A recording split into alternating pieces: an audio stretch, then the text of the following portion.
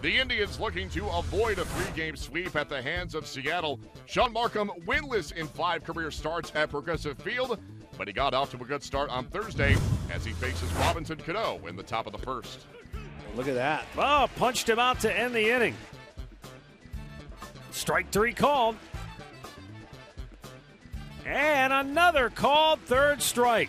Zach Walters, one for four last night. One two pitch, punch to right field, get down. Fair ball coming around third. Moss will score, and the Indians will play from in front as Zach Walters delivers an RBI single.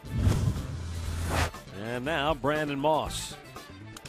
Broke his bat, base hit, right center field. Coming around third, Brantley will be waved home. He will score. On his way to third goes Raburn.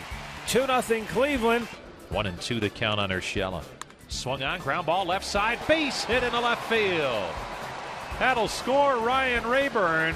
And Giovanny Urshela's first major league hit is an RBI single. And the Indians now lead it 3 0. Roberto Perez flied to left, his only time up. With runners at second and third and two down, delivers, and Perez punches one into left center field. That'll plate two more. The Indians with a big inning score four times in the third. They lead it five to nothing as Roberto Perez picks up RBIs number 12 and 13 on the year. And that'll bring up Giovanny Urshela. Nuno works from the stretch at all times, and here comes his 0-2 delivery. Swung on, and there's a high fly ball to left. This one's hit well. Ackley's looking up, and this ball's gone. Oh, have a day, Giovanny Urshela.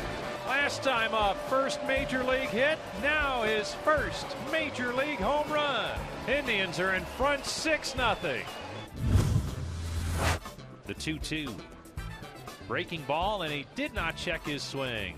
Smith rung up by the home plate umpire, C.B. Bucknor. Here's the pitch. Swung on, and there's a, a, looping liner to shallow right coming on Moss, and he makes the well, uh, waist high catch. And the shutout keeps rolling for Shaun Marcum. He may be done. We'll see. Indians breeze to the 6 0 win as they snap a three game skid. Shaun Marcum wins for the third time in five starts this season. Two of those three wins have come against the M's as he turns in seven scoreless innings, yielding just a pair of hits. Logan Morrison's 16 game hitting streak came to an end, which had been the longest active streak in the majors.